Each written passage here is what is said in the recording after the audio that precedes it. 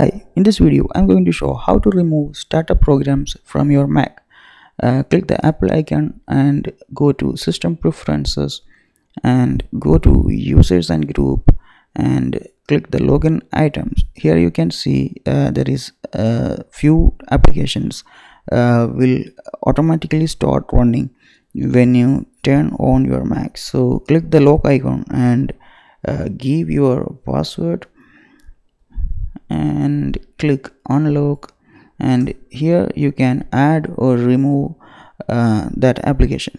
If you remove if you need to remove google drive and click select google drive and click minus.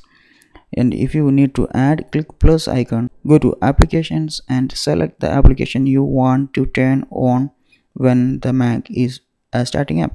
So this is a very simple uh, trick you can do uh, to save some time or uh, every time you need to uh, turn on some application add uh, that application to this list or some application is irritating you remove from this list and close it like this.